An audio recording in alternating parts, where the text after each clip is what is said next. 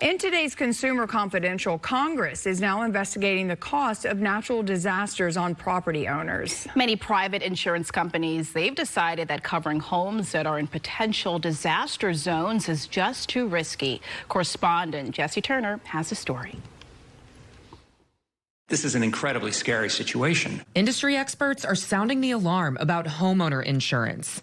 The cost is going up while coverage shrinks or vanishes altogether. The insurance companies deciding to walk away from long served communities and some states entirely. In recent years, many insurance companies have stopped covering property in disaster prone areas of states like Florida, California, Texas, and Louisiana. And so we need a backstop. Douglas Heller, the director of insurance for the Consumer Federation of America, says it's a particular problem with flood insurance.